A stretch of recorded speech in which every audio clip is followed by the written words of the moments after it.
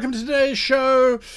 Thank you all for being here. I appreciate your company as always. Um, it's kind of hot here in Tokyo still, still in uh, grip of heat and summer. And um, wow, questions straight off the bat. I like that. I like that. We've got a full, full show today to try and fit everything in, to try and make everything happen. So many things uh, going on. I see we've got some new people in the chat, some names that I haven't seen. Welcome. It is a live stream. Oh, thank you, White Tiger. It is a white stream. Uh, a white stream. It is a live stream every Monday night, 6 p.m. this time. Usually it's for two hours, but for the past couple of weeks we've been running it's been chaos, absolute chaos. As a lot of you know, Descent into Avernus did not happen on Saturday as we had planned and built towards to go into it would be depressing. Suffice it to say that there was a contractual problem. No, don't worry, we will get everything up and running for this Saturday. So Descent into Avernus, the Blood War kicks off. If you haven't been to our website yet, I suggest you go and have a look. There's something I think is very exciting there. The Web Goblin is still working on it uh, to make sure that it's absolutely spiffy for this Saturday's launch. You are going to be able to influence the game in Descent uh, into Avernus far more so than you were able to influence it in Ghosts of Saltmarsh. We're going to use all of the NPCs that you guys provided for Ghosts of Saltmarsh. We're going to transport those over into Avernus, and there's so much more going on there as well. So if you haven't had a look, www.greatgamemaster.com. Go check it out. There's some interesting stuff happening there. That's for next week, Saturday, though. We're talking today and today we've got a whole bunch of things going on. We've got your questions coming through. I'm very aware that an hour goes by very quickly. We're only going to be an hour today. Usually it's two hours. It's only an hour today, again, because there is so much stuff happening that I need to make sure is going to play out correctly. So that's something to bear in mind. I've also been recording videos all morning so far. It's 10 o'clock here in Tokyo, Japan, which is where I live. So I've been recording videos all morning.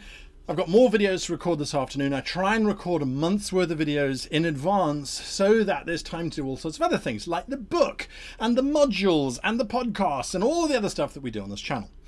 Today we're going to be looking at some very cool things that have come across my desk in the last week or so and that I think will be of interest to you guys. So I'm going to talk about that a little bit and then we're going to do questions. So I see the questions are starting to come through. Let's hold those questions just for a little bit.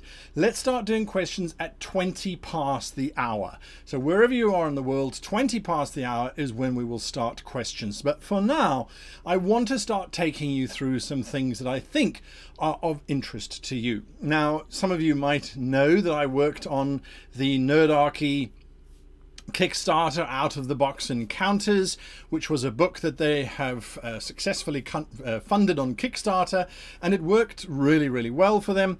Uh, it's going to be a very interesting product, and that has spawned, uh, or yeah, spawned a, a, very interesting event that I've now been commissioned to work on, which is the Nerdarchy Convention which is going to be happening much, much, much later, next year only, but it's starting to build now. And I'm putting together the trailer for this thing, and let me tell you, this is a sneak peek here. This is going to be the convention to beat all conventions. If you like YouTubers that talk about role playing and crafting and and design, that's where you're going to be. That's where you are going to be. Philadelphia next year, October. Mark it down. It's going to be an amazing, amazing event. So that's kind of happening. Now, somebody else who's doing a Kickstarter and whose work I have featured on this channel multiple times, and I even see them in the Twitch channel, so hello DM Scotty, is DM Scotty the stuff that he does on his YouTube channel, building stuff, crafting stuff, is phenomenal. It's always very good quality, and I've been chatting to him, and they've got a Kickstarter going, which I want to talk about very briefly uh, today, because I think it is something that you will enjoy. If you're old school like me, this is going to bring back memories. So I'm talking about this Kickstarter, and you can find it, you can see it going up already. It's listed in yen because I am in Japan and Kickstarter has decided that yen is important. So it looks like 455,000 yen. Oh my goodness, this is amazing. it's nice, but uh, when you tra translate that into dollars or something else, it um, oh wrong wrong hover over. It's six and a half thousand Australian dollars, which is fantastic. So they're halfway to their goal. This book, The North Road, is uh, I think something that's of great value. Now, I'm not going to play the video for you. You can go and have a look at that in your own time. But the idea here is that this Kickstarter, this series of adventures based on, on the North Road, are generic enough that you can drop them in almost anywhere and to a large degree are system agnostic too. So you can use it almost anywhere, which I think, well, system neutral they call it, I call it system agnostic. So this is something if you want a very well written, it's two uh, very, very experienced role players who've come together and you get this, this book. Now they sent me the book. So I'm going to open it up. I'm going to open it up down here. They sent me some of the stuff. The Loyalist, this is Adventure 2 that's in, in that. And that's, of course, Gareth um, Barrett and Scotty McFarlane. We all know DM Scotty. And so there you can see it's all laid out. But these illustrations, if you're like me, this is stuff that came straight out of the 80s sort of um, fantasy space. I loved this period uh, in terms of, of creativity and fantasy because it was kind of new and that sort of thing. What I also like, though, I was speaking to DM Scotty before the show happened, is that he's also got photographic um, reconstructions of things that happen within the in the book. Now I know for a fact that that that particular ball of teeth and spines and stuff I reviewed on this show months ago as to how he made it out of polystyrene and tooth uh, the tines of a plastic fork and uh, bits of plant material. So you can not only run the module, run the adventures in your game, but then you can go and make this stuff. I think this is super cool to include the idea of yes, we've got illustrations, which is what we're used to in these kind of things, and then we've got these kind of images. Imagine building this kind of stuff. So as they walk into this little town that's part of the module, there are these little spaces that you have made. And of course, if you want to know how to do that, head on over to Scotty's channel. It's really, really, really worth it. And uh, this is just one adventure, by the way, that I'm still scrolling through, and that makes up part of the book. So it's a it's a big enterprise that they're doing. If you're in the market for a new series of adventures, you want to support these guys, head on over to Kickstarter. I'll bring it up. There it is again. Head on over to Kickstarter. Look for the North Road, a fantasy RPG campaign book. It's there. I'll even post the link up into the chat. If you want to to go and support them. And that would be great. I think it's going to be super cool. We're going to get DM Scotty uh, onto the show at some point where we'll talk all things crafty and crafting. So I think that could be very cool.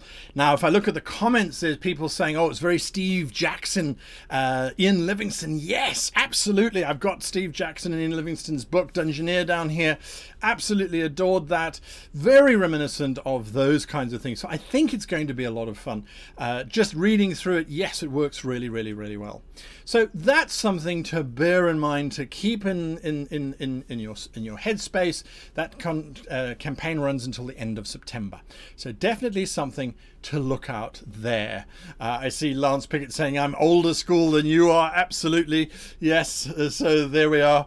In terms of what is the yen to the dollar, I have no idea. But um, Todlich uh, I think you will, you will find Google gives you the answer for that one. Without a doubt. Without a doubt.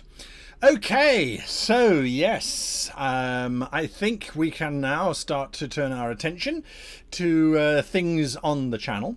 And there are some questions that have already come through. Tropico Boy, I see, has been posting up a lot of questions, or the same question multiple times. It's a little bit of ahead of schedule, but I think it's worth uh, worth having a look at. Uh, DM Scotty is in the Twitch channel. Um, not sure how long DM Scotty will be there for, but uh, yes, if you have questions, you can jump onto Twitch and have a, a, a chat to him. Uh, otherwise, I'm sure you can find him uh, around to answer those. Now, like I said, I've been doing videos, excuse me, just for a second. I'm so sorry. I've been doing videos all morning, so my throat is a bit dry. So I popped down to the vending machine. If you don't know Tokyo, if you don't know Japan, vending machines are everywhere. My apartment building, I think they're about probably 25 apartments. It's not a huge apartment building. We have our own private vending machine in the driveway. So I popped down there to go and grab a something to drink just before the show started, and the usual stuff that I drink has been replaced by something new. And I'm not a sponsor. I don't know who they are. I don't know what this is. It's called Detective Conan. Uh, it's obviously some kind of uh, promotion that they're running.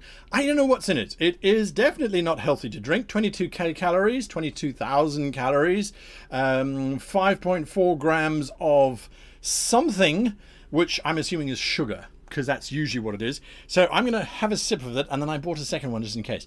This is the joy I find. This is the joy of living in a country where you can't read the language or you don't understand the language and you get to experiment. So this is a live experiment. It's a milky white kind of color um, inside. So here we go. Okay, so there we go. Michael Fox giving us some insight there. Um, Detective Conan is an anime that's been running for 20 years. Okay, well, this soft drink, it's carbonated.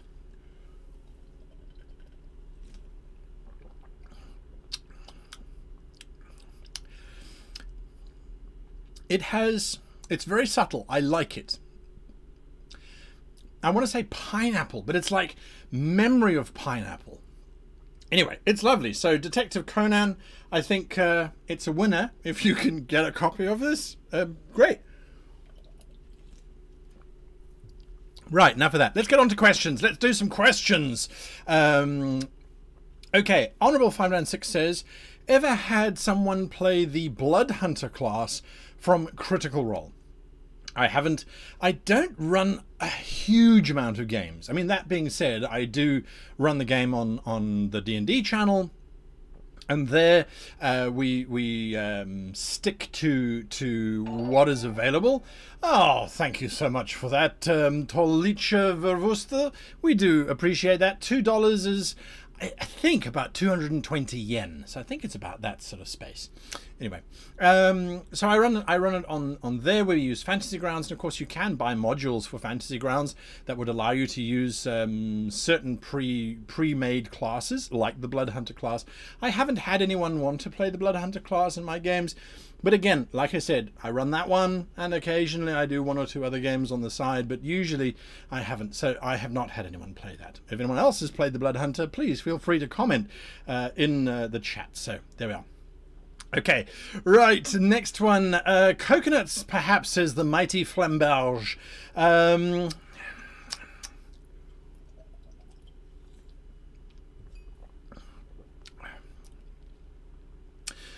more pineapple than coconut. Could be coconut, but there's, there's, there's that sweetness to it. Um, so yes, potion testing 101. Don't know what it is. I sip it. Yes. Also have a standby one in case the first one doesn't work out. This one is definitely grape. That's grape. But there's a yogurt on the side as well, which is interesting because it's clear water. So you can't see the grape because it's being keyed out, but those are grapes. So I had that on standby in, in case Detective Conan tasted terrible. Anyway, more questions. Luigi Squeegee says, What are some suggestions for gaining inspiration for writing unique lore? That's a very expansive question. However, Luigi Squeegee, I would suggest that you actually go to the very first video that we released on our YouTube channel, which I think was called Storytelling 101, or it was just, it's the very first video that we released four years ago now. And um, what it talks about is the four different ways in which we have imagination, which is basically how we get inspiration for writing unique lore. What is unique lore? Well, the biggest thing is what is lore? What do you know about? So I would always suggest go and research the lore of other people. Now, frequently you'll see on the YouTube channel, I'll talk about, well, there's this sort of lore that comes from these kinds of people. The Aztecs have got this one, or the, the latest one, for example, is the Native American Indians, or the Aboriginal Americans, as they're now uh, called. I'm not sure what the right nomenclature is. I'm not up to date with that. Um, so if anyone can give me a definitive, this is definitely what we are, are calling people who were originally from North America. Uh, that would be great. But you get just enough lore to get some inspiration. You go, oh, okay, so that's their naming convention, or that's not their naming convention. That's what we think was their naming convention, and then you base on that. So I would say research, research, research. Think of a culture whose lore you like. Go and research some of their lore, and that will give you inspiration. Think about how it would be changed based on the races within your campaign. So. If it's a sci fi campaign, how would you take Aztec lore and translate it. Oh, the carbonated drink is coming through. How would you then translate that into something usable within your campaign? So that's something to think about. Okay, Tropico Boy's question just flitted off the screen, and he has been asking it for a long time. I start. I'm starting my first campaign session soon, and they are starting by raiding a dead king's tomb. I was wondering how to make fighting skeleton, skeletons more interesting, and the dead king uh, has a spectral protector. Okay, so Tropico Boy, the most important thing to bear in mind is don't think of a fight as just being your monsters versus your player characters think of a fight in terms of there's there's various ways of looking at it. I like the three P's: pain, punishment, and problems. Um, the look at the the, the, the, the, the pain that the skeletons are going to be delivering. They don't do a lot of damage depending on what system you're using, but that doesn't necessarily mean that they're going to be easy to fight. If they deal more damage than they are listed as doing in the book, that's okay. You can do that. You have the power as the game master to increase the amount of damage. But also look at the pressure. What if the tomb is starting to collapse whilst they're fighting those skeletons? And they have to stay within a certain, let's say, circle that provides energy to the tomb to keep the tomb up. But the skeletons, instead of attacking to deal damage, are trying to drag them out of that circle. It's still a combat with skeletons, but now if they get dragged out of the circle, the building starts to collapse. So they have to stay in that circle for 10 rounds without being dragged out of it. So it's no longer hit armor class, hit armor class, now it's strength versus strength. So that's something to bear in mind. That's something to keep in the back of your head as as as a way of doing it. Give them a different problem. The skeletons die, but they resurrect straight away because there's a strange idol on the other side of a pit that seems to have the power to resurrect undead. So they need to get to that idol because otherwise fighting the skeletons is never going to help. So bear that in mind. James Tension asks, um, any news on the Broken World Chronicles? Well, I would love to go back to the Broken World Chronicles, but at the, at the moment, there is just not enough time. And I'm going to tell you why. We've got Descent into Avernus, which kicks off. That's in the next 12 weeks of absolute awesome goodness and fun. So I'm really looking to, forward to Descent into Avernus. We are also, and this is a sneak peek for those of you that have come through to the live show, we are also going to be launching a new series called Game Masters Play, GMP for short. So we're recording that on the 27th of September. And then every month thereafter, we will be releasing another, uh, uh, we will be recording another one. What it is, is we are going to take a role playing system, not a Dungeons and Dragons role playing system. We are going to take a role playing system from another publisher. I get together a bunch of game masters, people from YouTube, from around the space, all wherever I happen to find them. They get given the rule book and they have exactly 20 days to learn the rules for that gaming system.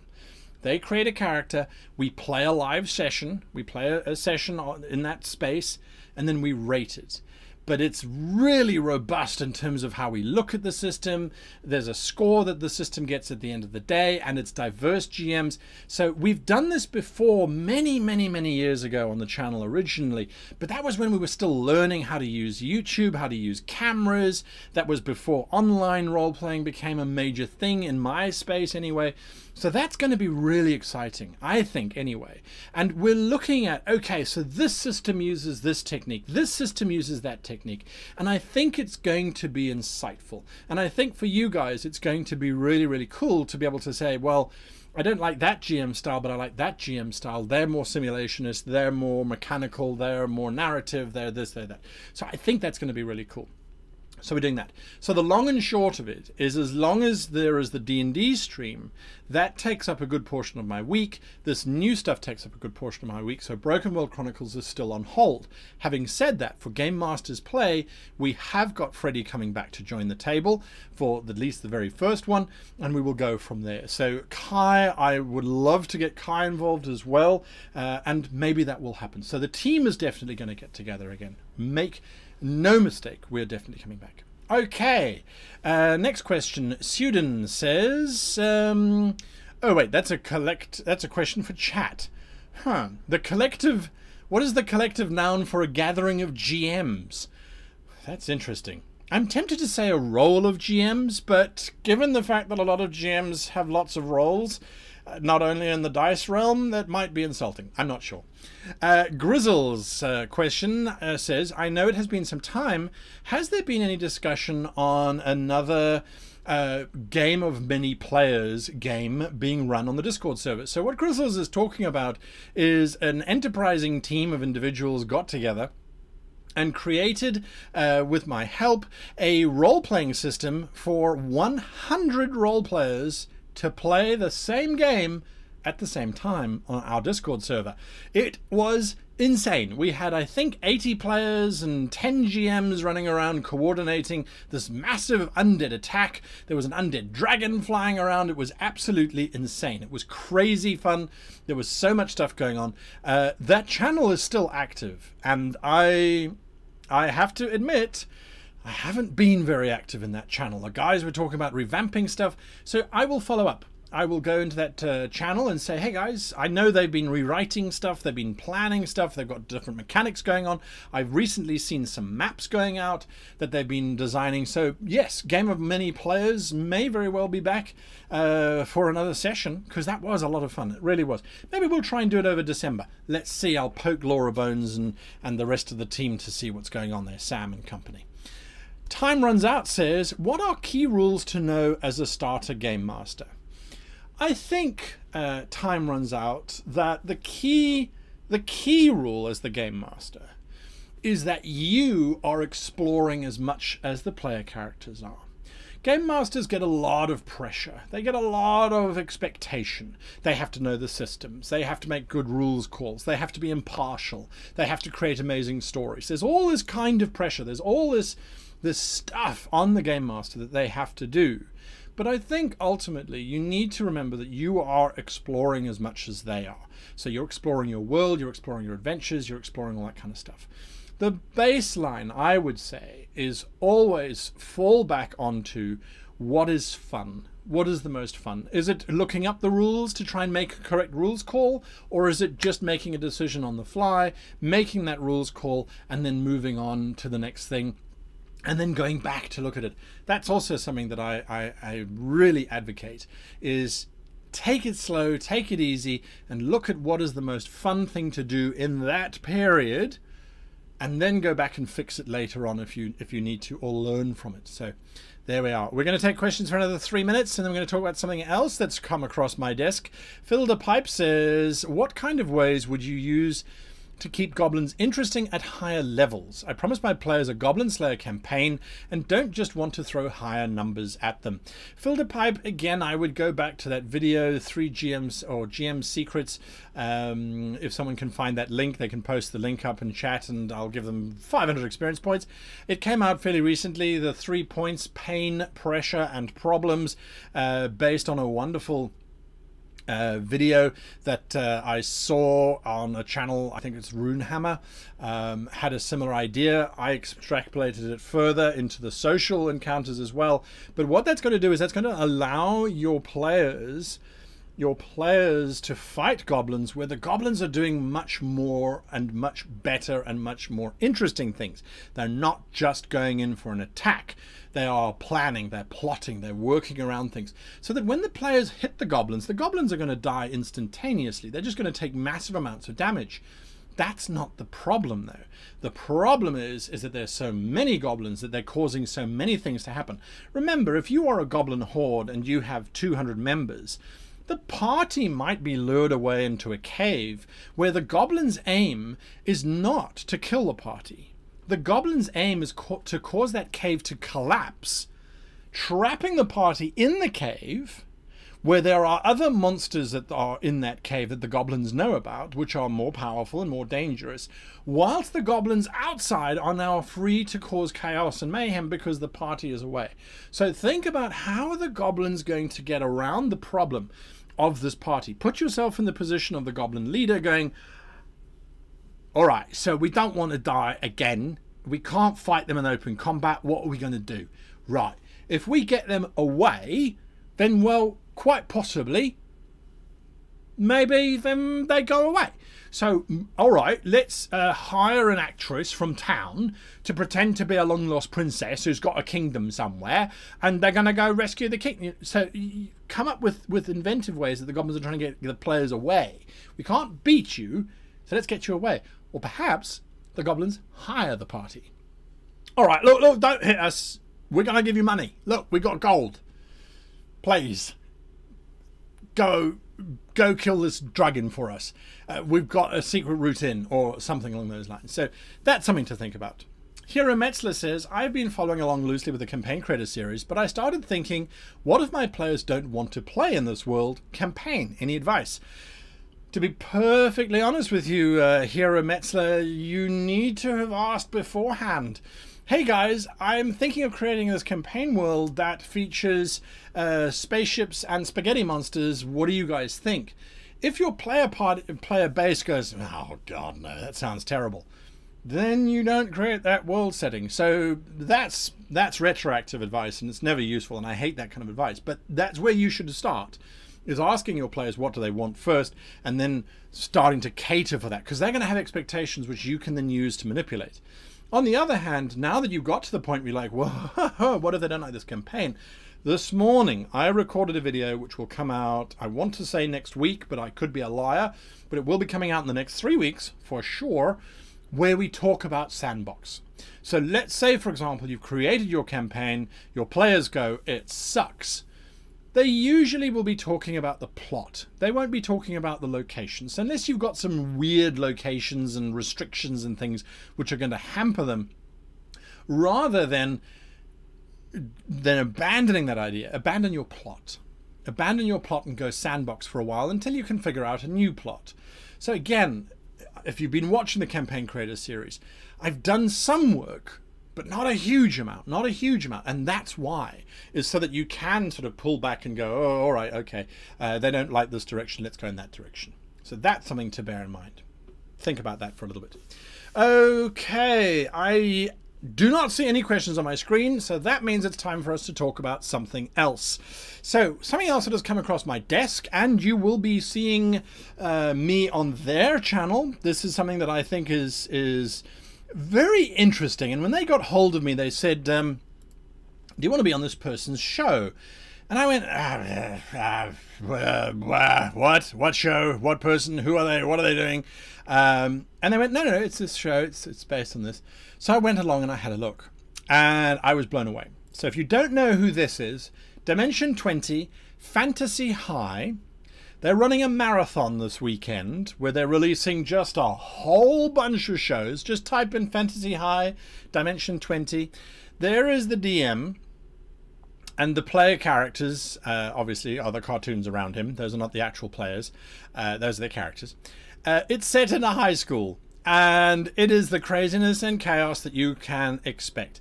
A lot of fun to watch. These guys have got just boundless energy. And I was watching going, this is, to me, it's just super exciting. It's super cool. Now, I'm going to be on that show, not in the role playing, but I'm going to be on a, a, an interview kind of thing uh, in October later on. So I'll talk more about that. But yes, if you are looking for a new show to watch and you decide that Avernus is too dark or uh, you don't want demons and devils, you would rather go and relive your uh, high school days, then these guys are definitely worth a watch. Uh, I'm going to be checking them out uh, as they run this uh, marathon of, of their shows. Could be a lot of fun. There is, as I said, the energy is just phenomenal. So fresh and bright. And who doesn't want to relive their high school days? Mm, Anyway, so definitely, definitely something to have a look at. Oh, wow. Luminia Mole, that is absolutely absolutely amazing. Thank you for that. Um, I'm actually going to ask uh, that that that's insane. Um, uh, right. So uh, you, I'm so glad that you appreciate this stuff. I'm literally I'm literally flabbergasted. Uh, wouldn't you send me an email?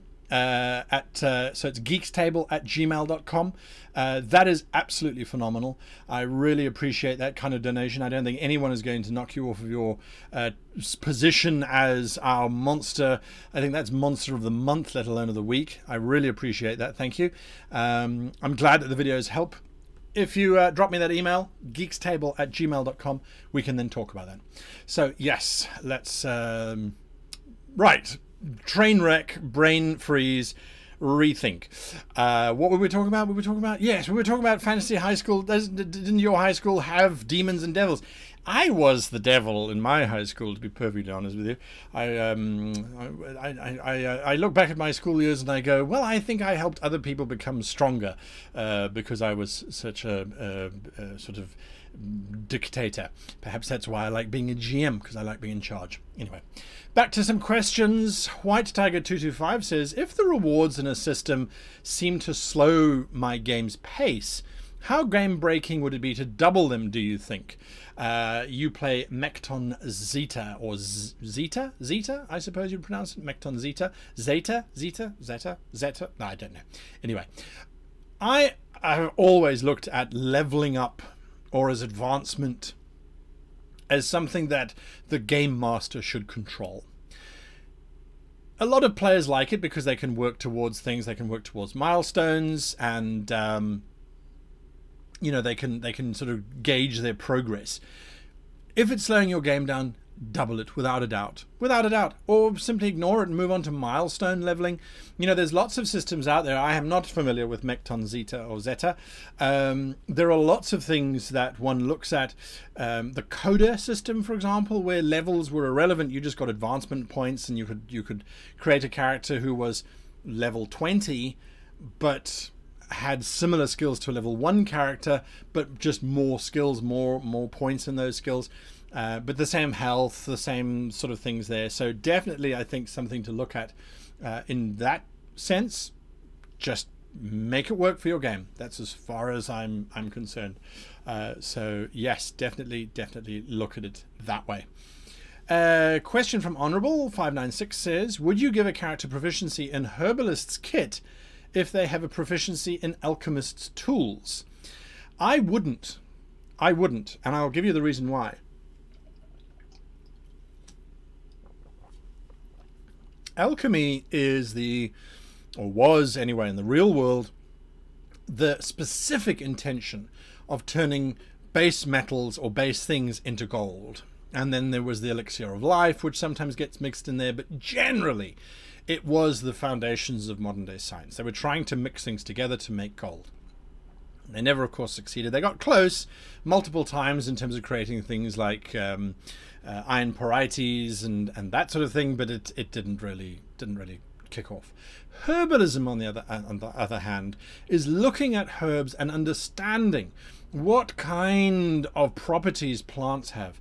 Now, I would consider myself more of a herbalist than I would an alchemist, simply because I've spent a long time in Africa, and in Africa you learn, oh, that plant is poisonous, that plant protects you from sunburn, that plant reduces headaches, that plant induces uh, diarrhea. That plant uh, you would put on a wound if you if you have a bleeding wound. It will help you. That plant you don't go anywhere near.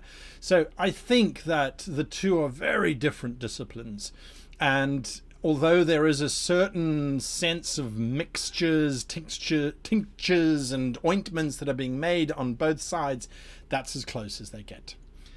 Vitalios Motikas says, How would you play an insane mad creature like Derro, founded in the 3.5 Monsters Manual? Insane and mad creatures, I think, need to be played very cleverly. So this is the difference. An insane or an insane creature that is completely nuts. It has no idea of what's going on around it, like a rabid animal, for example. There's certain instincts that are still there, but generally speaking, it will just attack anything that comes near it. It will eat on it for a little bit, it'll leave it behind, because there's still that survival thing sitting in the back of its mind, no matter how deranged it is. So I would look at that. I would I would never just have them uh, or put it this way. The scary insane is when they are apparently not insane, but they are completely and utterly bonkers.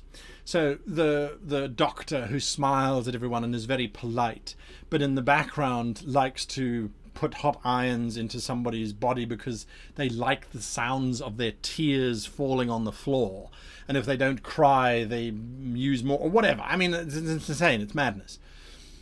So there's two different ways of, of playing that. And the Derro, I, I remember the name, but I don't remember the creature at all, to be honest with you, is something that I think you would need to, to look at. Where do they sit? What do they do?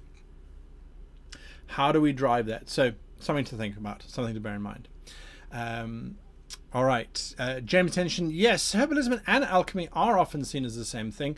Uh, Elder Scrolls, yes, definitely Elder Scrolls. Um, to a degree, Elder Scrolls. I play a lot of Elder Scrolls. And yes, butterfly wings and bits of this and uh, eggshell. And there is definitely a, a, a, a thing there that's come together. But when you look specifically, herbalism and alchemy, as far as I can see, in, in the D&D context anyway, they are quite separate. But again, this is the joy that we have. And if you want to do that, you're more than welcome to do that.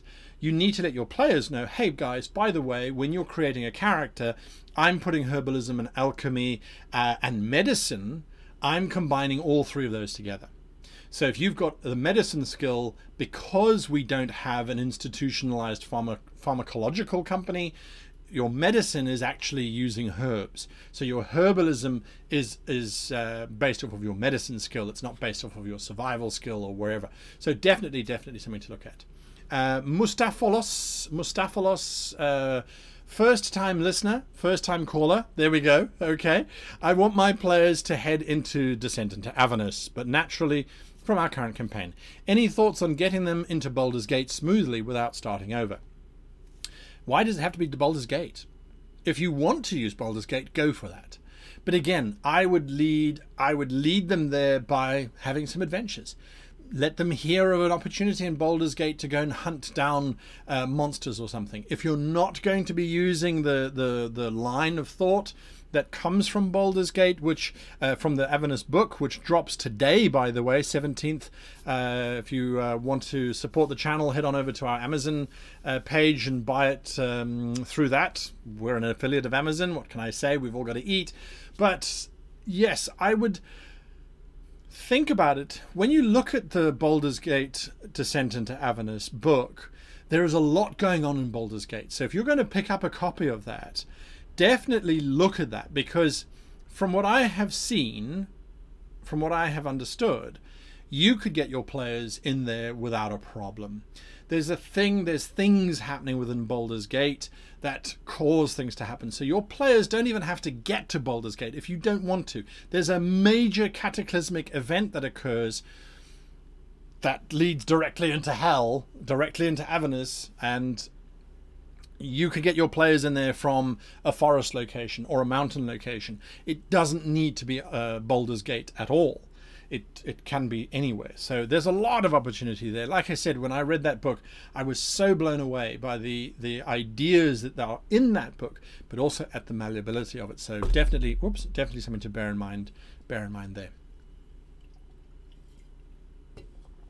Senior Samurai says, I'm new to writing campaigns and I want to get into Starfinder.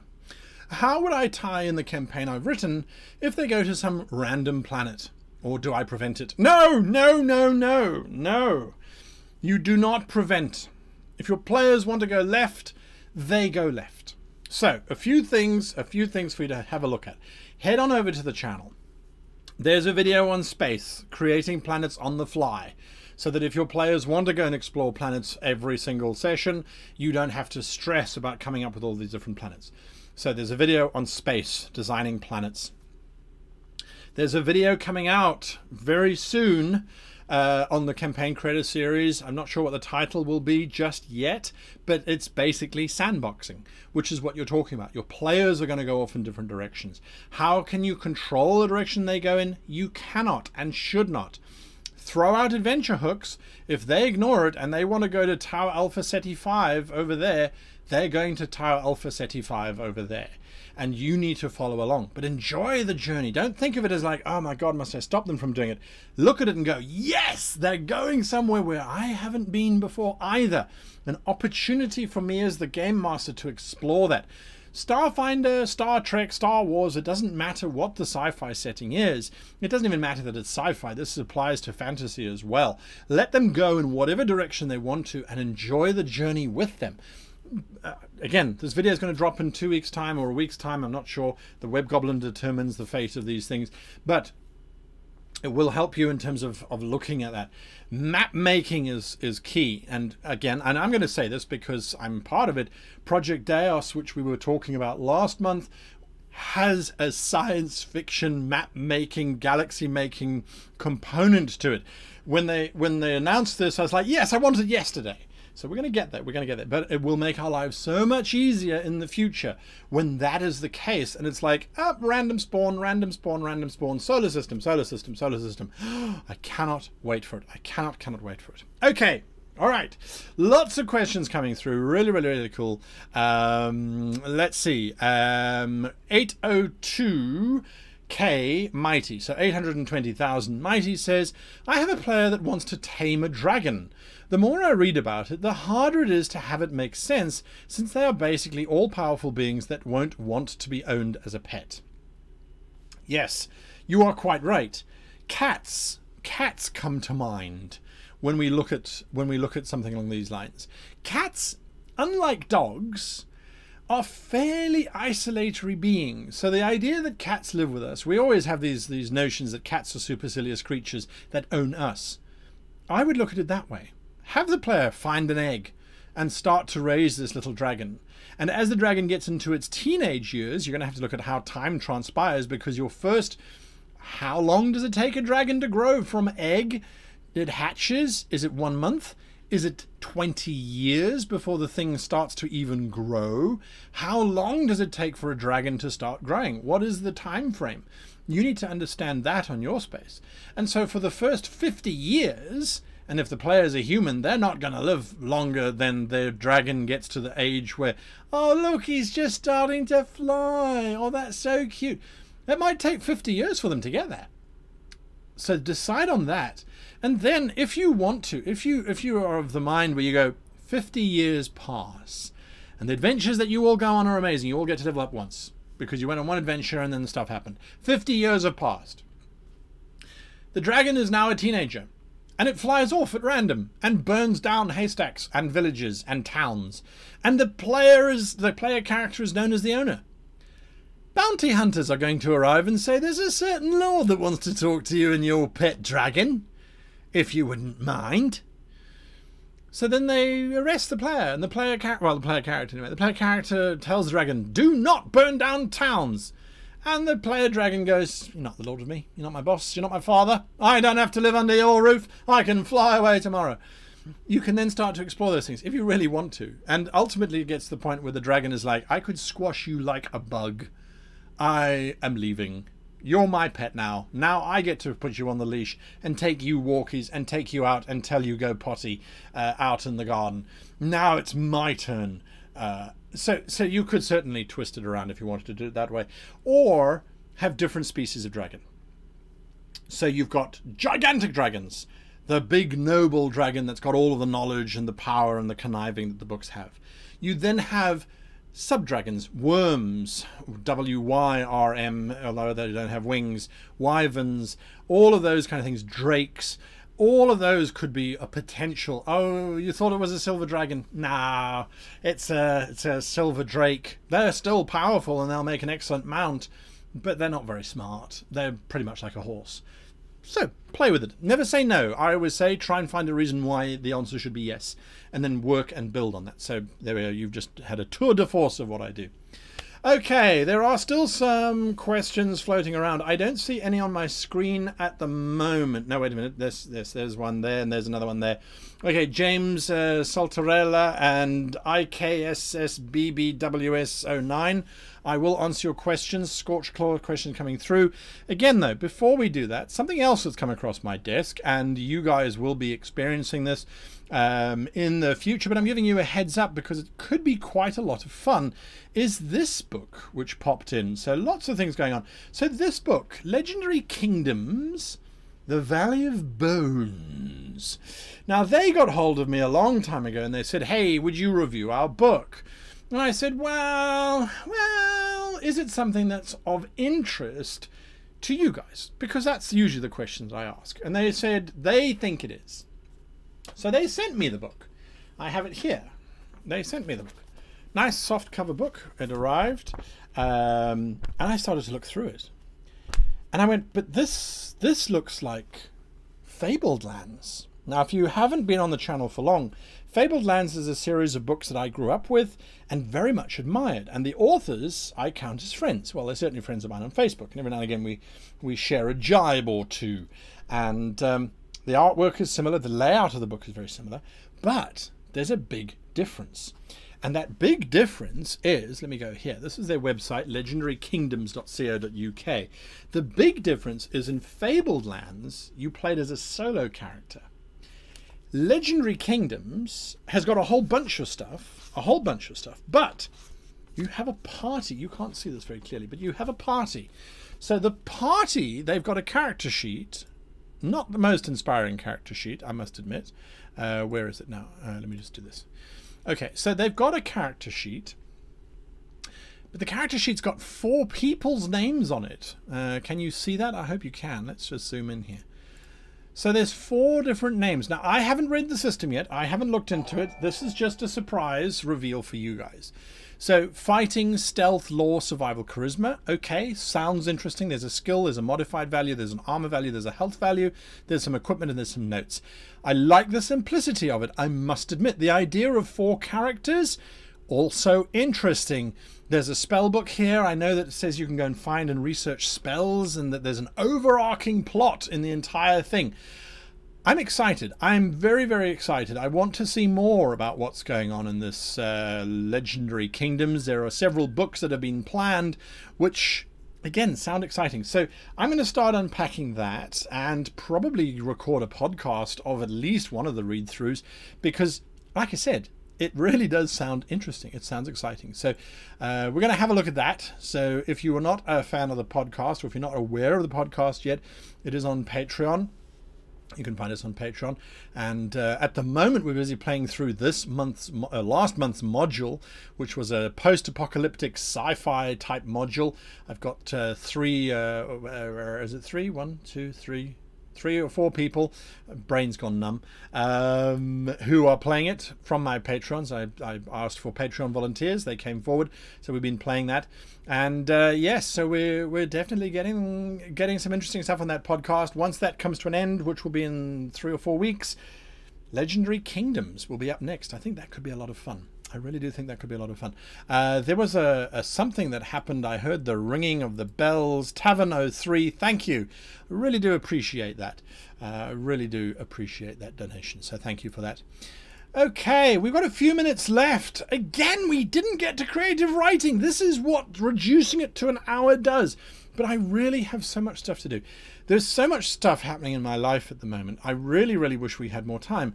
I'm also moving potentially to the UK in January, which is only four months away. How insane is that?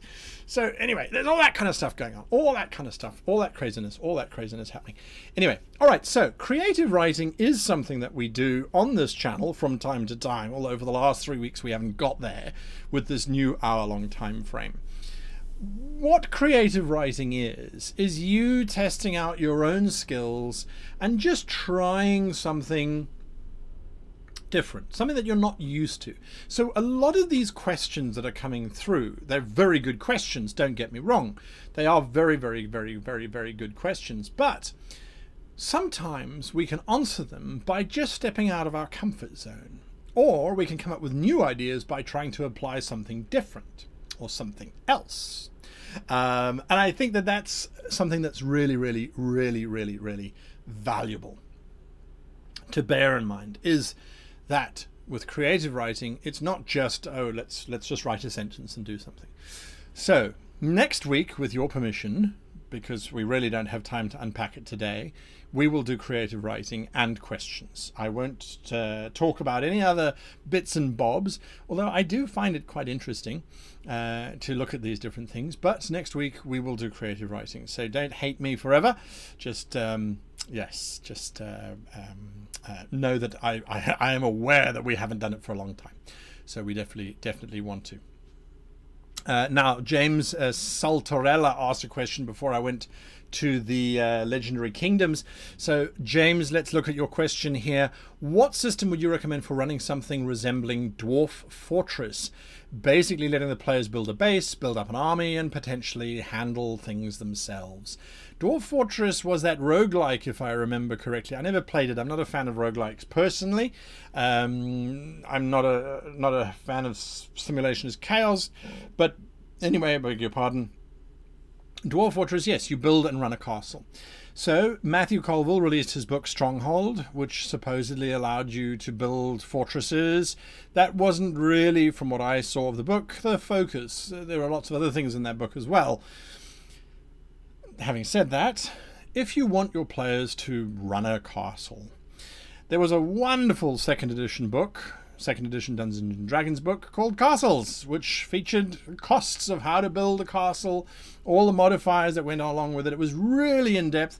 Uh, my good friend and I, he and I got that book, and we spent years designing castles and very carefully calculating 10 foot of stone 10 foot wall cost 5 gold in the mountains but in the forest it cost 12 gold but the wood was cheaper and so so yes. What system would i recommend you go with?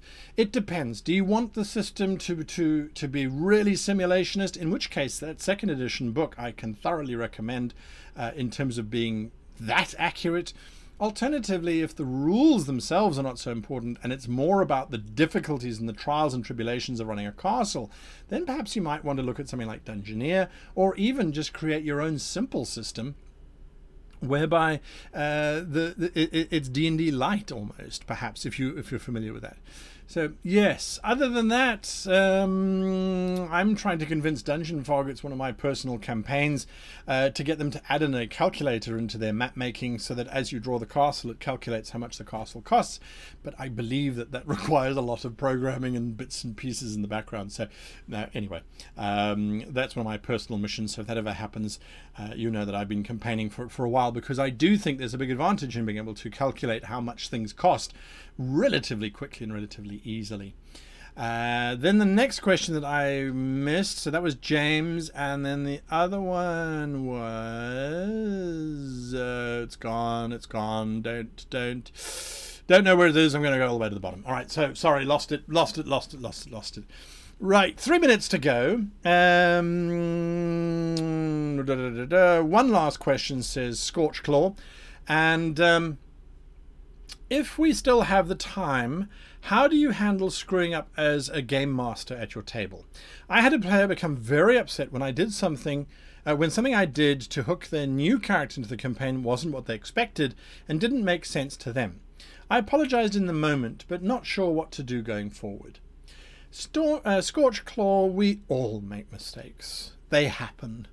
And even in Ghosts of Saltmarsh, my players after the first session went, um, what, what, what was that? Where did that come from? But they've learned to trust me that I will try and swing the story back around. If they say they didn't like the beginning or they didn't like an action, they didn't like this, hopefully, hopefully, uh, the um, the players respect the position of the GM enough to go, I wasn't happy with how that played out. Um, this is why I wasn't happy. I felt that it was too, it was against the character, or it was this, or it was that. But um, maybe in next session we could realize that it's a dream, or that it's a nightmare, or it was a flashback or a flash forward that my character was having. I don't retro stuff. I hate retconning, uh, as they say, retconning uh, stuff. Uh, oh no, that didn't actually happen last week. I hate that. So rather try and figure out a way in which, oh, that was an alternative dimension that just played out, um, and and you guys are trapped there, or those are, are, are cheap tricks.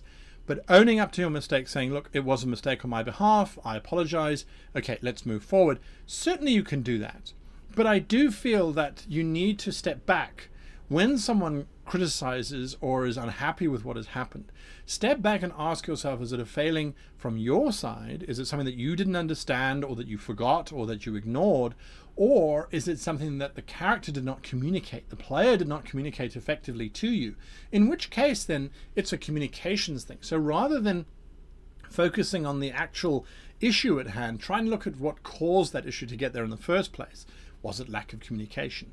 In which case, then you can learn and you can improve on the fact that it was a communications issue rather than a minutia. So always try and step back and say, okay, well, what caused that? Where did where did that come from? Uh, again, and this happens all the time. Players get wrapped up in things. They get so many expectations built around their character. They can sometimes lash out. And then you realize, well, it's actually not because of this. It's a, a bigger thing. It's a bigger space. Anyway, those are my thoughts for this week. I um, have got a lot of things to do, so many fun things happening. Um, I hope that you do as well. I hope that your weekend will be filled with fun, whether it's watching Dimension 20's Fantasy High or hopefully joining us for Descent into Avernus on Saturday at 1 p.m. Uh, Pacific time or any of the other things moving forward. Uh, Kenshin 1491, thank you so much for that. Really do appreciate uh, the donations. Um, you guys really do, really do, do, do make this uh, uh, show worthwhile and and and help moving forward. Um, so yes, uh, with regards to your question, Kenshin four nine one, uh, any advice on outlining outlining a story? absolutely head on over to the um, YouTube channel. Uh, you're on the YouTube channel already, and uh, look for um, the sentence. The sentence. It is, as far as I'm concerned, a very good basis for starting an outline for your story. The sentence Someone wants something badly by a specific time and is having difficulty getting it because of whatever it is that they're trying to do. It's a very, very strong basis, although I have been doing research into how Eastern stories are written, that is to say, stories emanating predominantly from Japan and Asia, and there's some very interesting things that have uh, that I have had the awesome benefit of discovering, and I will obviously communicate that to you in the form of a video uh, in the next couple of weeks. The differences and why and how we can use those differences to improve our storytelling. Anyway, until next week, I wish you and yours the very happiest of gaming.